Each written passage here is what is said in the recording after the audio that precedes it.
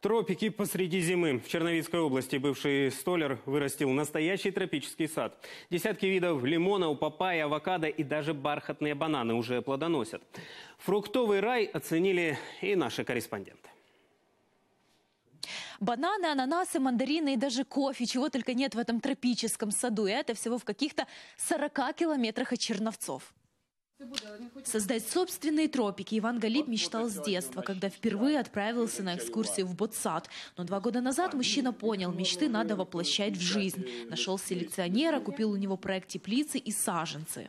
Ця думка, як зародилась у мене, я буду мати таку теплицю. От більше 30 років в мене така думка не спадала. Це недоспаних ночей дуже багато.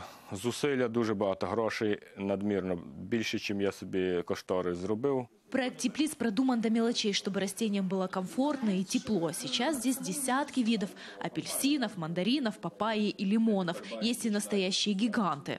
Кілограм оцей має лимон, а цей вже десь має 450 грам лимон. І бачите, які гарні, яка велика різниця. Кухонний комбайн, як вставиш, то зразу літр соку. А это самые настоящие тропики. Температура воздуха плюс 25 градусов. Здесь обитают кусты кофе, томатное дерево и даже ананасы. Дивлюсь, думаю, ну що так пахне в теплиці? Ну не може бути, ну так як медом розлив майським. Майський мед, він дуже ароматний. Ну думаю, ну що таке? Потім через два дні думаю, так подивився на ананас, а він жовтий такий, а такий запах.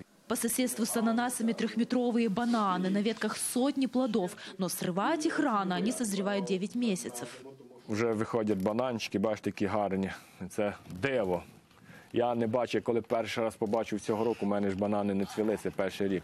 І я коли побачив, то я не міг до себе прийти. Як- Яка так красота, бачите? Ухаживать за таким тропическим садом – тяжкий труд, признается Иван. Кусты нужно регулярно поливать, удобрять и следить за каждым ростком. Для семьи остается совсем мало времени. Я його дуже довго стримала від цього, тому що я не могла повірити, що може у нас таке рости.